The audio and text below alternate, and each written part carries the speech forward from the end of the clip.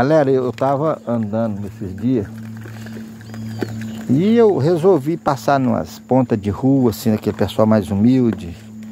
E eu tenho uns amigos de infância que não tiveram a oportunidade que eu tive, né?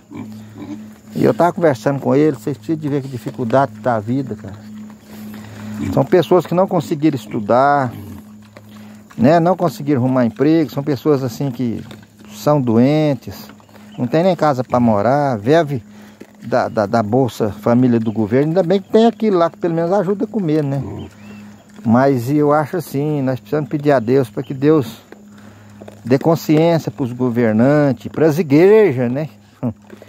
Porque as igrejas também, viu, tem culpa na, na pobreza do mundo, tem muita culpa. Todas as igrejas, toda igreja é rica. Se as igrejas e os governos ajudassem, não tinha ninguém passando fome não, viu?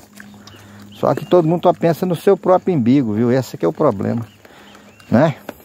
Mas nós, como cristãos, como cristãos que somos, nós temos que dobrar o joelho e pedir a Deus para que Deus dê um caminho para o homem na terra, né? É só Deus, gente. Deus acima de tudo é ser louvado, Senhor, mas ele fará.